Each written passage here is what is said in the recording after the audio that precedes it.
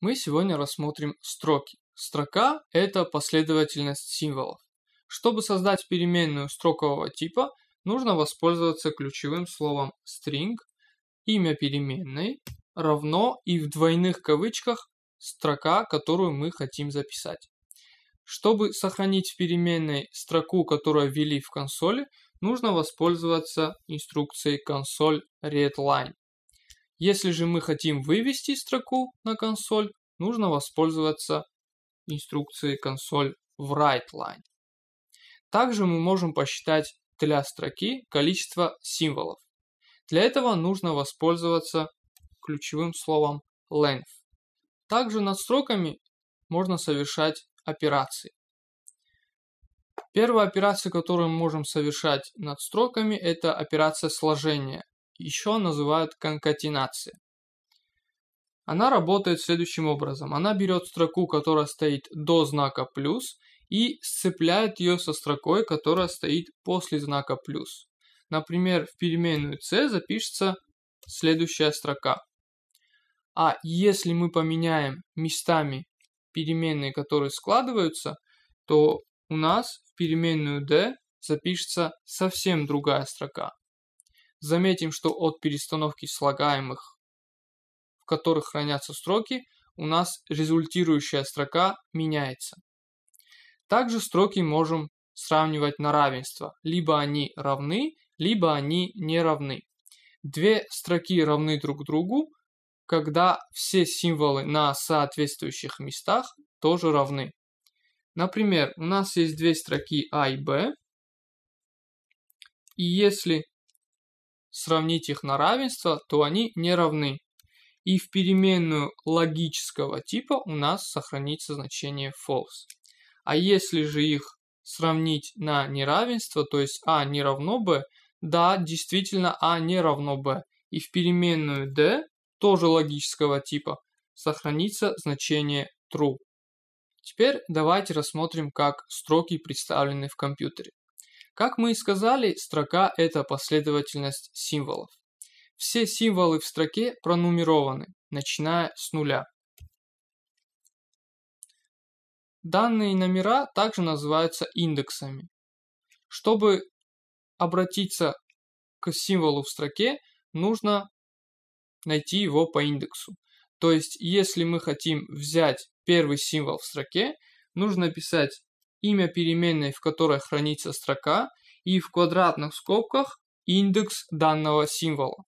То есть, чтобы взять первый символ в строке, нужно написать s и в квадратных скобках 0.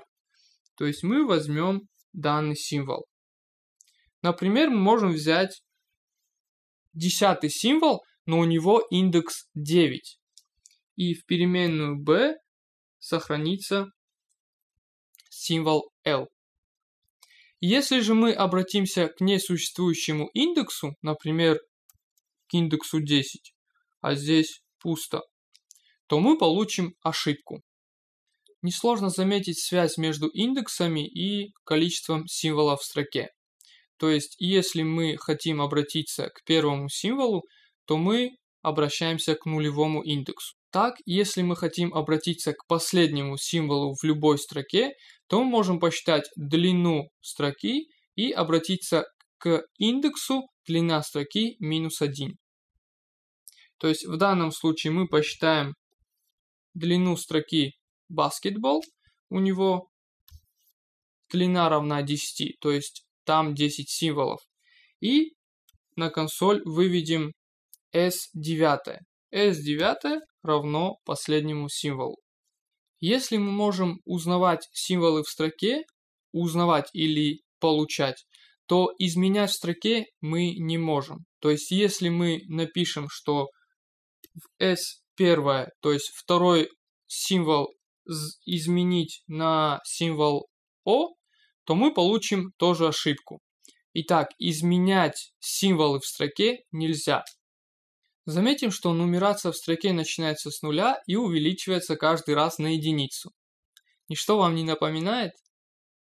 Да, мы можем пройтись по этой строке и в переменной цикла перебирать именно индексы в строке. То есть, если мы хотим пройти по строке, то мы можем в цикле завести индекс. Начинается она с нуля и заканчивается длиной строки минус 1. И каждый раз она увеличивается на 1. В теле цикла мы будем обращаться к каждому символу в строке. Зная, как проходить по строке и обращаться к каждому символу, мы можем решить следующую задачу. Например, найти количество букв А в строке. Что мы будем делать? Мы будем проходиться по строке и каждый символ сравнивать с буквой А. Если у нас символ равен букве А, то мы будем увеличивать наш, нашу переменную, в котором храни, хранится количество букв А. Заметим, что в начале она равна нулю. И каждый раз, когда мы найдем символ, который равен символу А, мы будем увеличивать данную переменную. После цикла, замечу именно после цикла, у нас в переменной count А будет находиться количество символов А.